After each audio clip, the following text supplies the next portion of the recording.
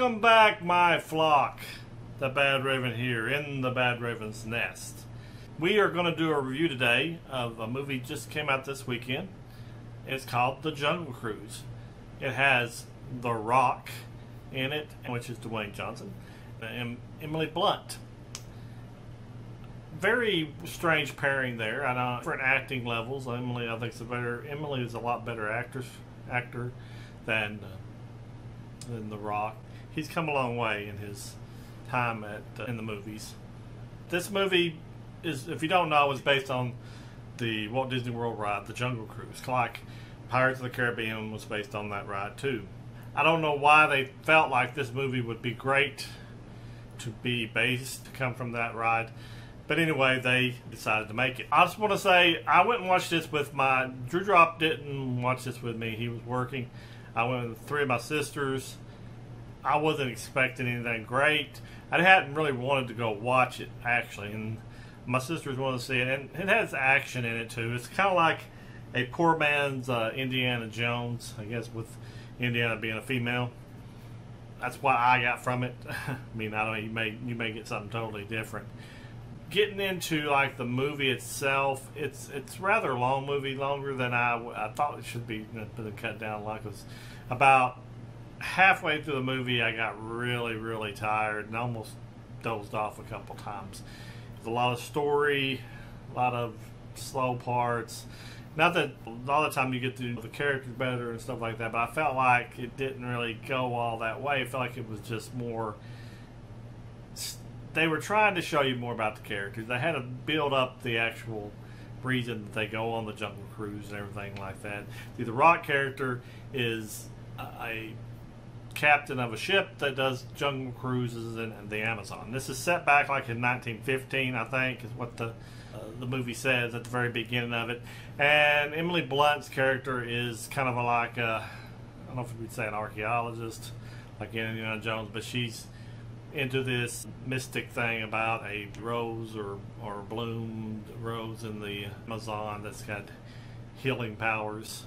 And she's basically in a time where women are looked down on, women are um, considered not equal to men at that time, and she's having to be. Um, well, she's kind of she's rich. Her and her brother are there together in this movie, and they're rich, and she's like she wears pants and all this, and that's what The Rock calls her pants a lot in the movie because all the women wear dresses. They're all supposed to wear dresses because of the time period. But getting back to the movie itself, um, I did like The Rock's take on the character that he was playing when he was doing all the the little jokes on the Amazon cruise ship, you know, on the when he's on the Amazon on the ship and captaining a ship and taking people on these tours of the Amazon, he would do like the little things like the, if you ever rode the ride at Walt Disney World, they would have they would like make jokes up, little crazy jokes here and there, and he would like be you know just shoot them out one by one by one, and it was it's really they call them dad jokes, I guess you would say. And I like that. I like that. Was thought that was well done for that. They showed some of this already in the trailer, so it kind of it wasn't new again.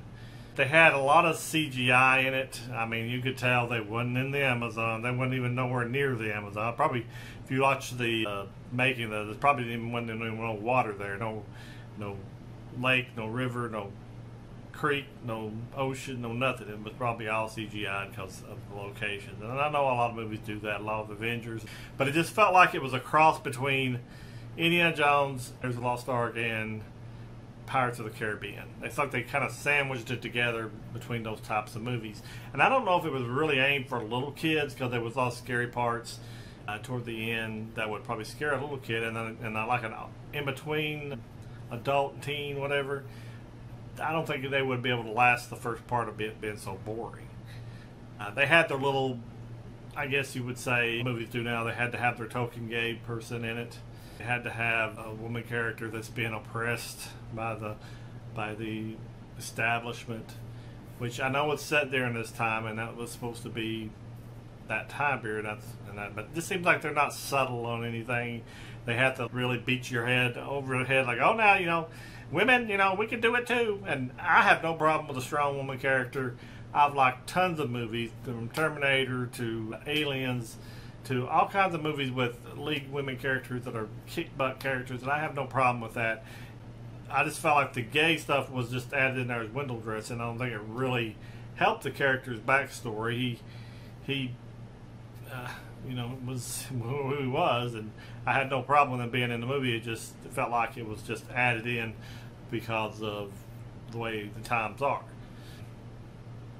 You if, if you're coming there watching this as a woman and you expect to see The Rock running around with his shirt off, or you know seeing his big muscles all the time, the only thing they referred to him as a big guy. They always when it came up to him, oh, he, you were big, but they never really looked at his muscles and they never did take his shirt off. He did get in the water a few times, but he had a shirt on.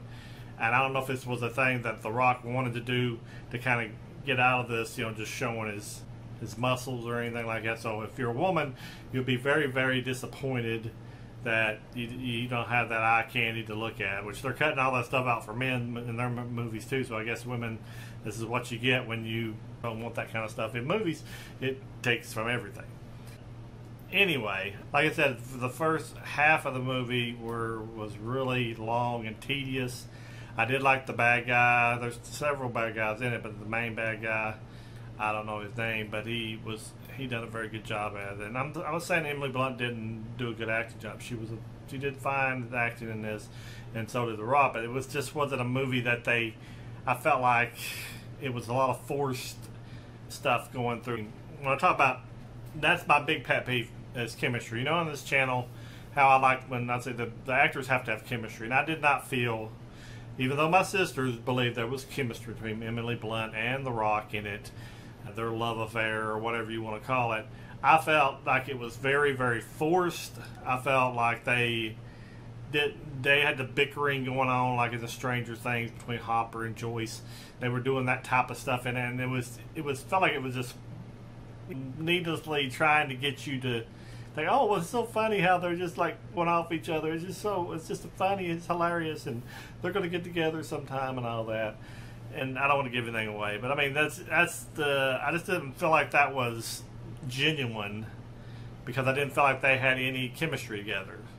So that's just me. My sisters thought the exact opposite. They thought it was awesome. They thought the whole movie was awesome, and they thought the, the them two together were a great couple.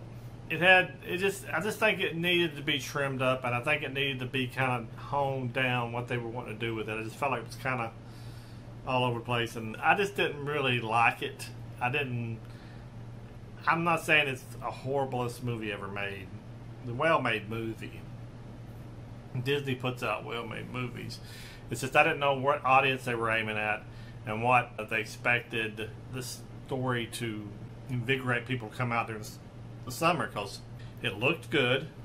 I don't know why really they picked The Rock to be in it. It could have been basically any guy could have done it. You didn't have to be seven foot tall or however tall he is and built like a brick house to uh, play it.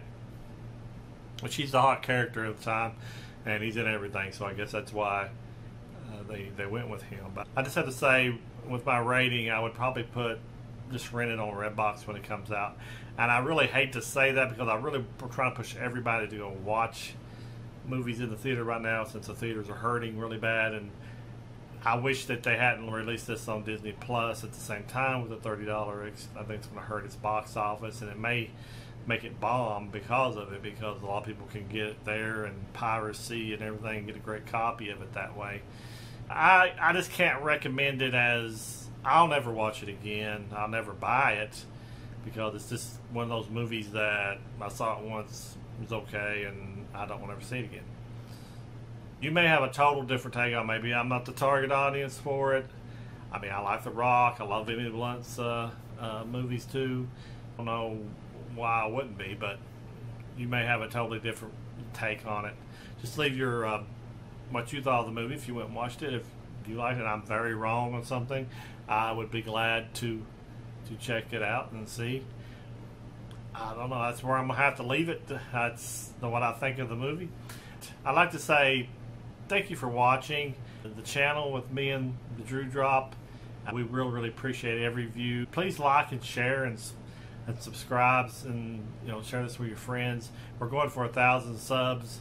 We're getting there little by little, and we appreciate anything you can do for that. And always remember, the Bad Raven is your friend. We just love making videos for you. So we're going to let you go, and we'll talk at you later. And goodbye.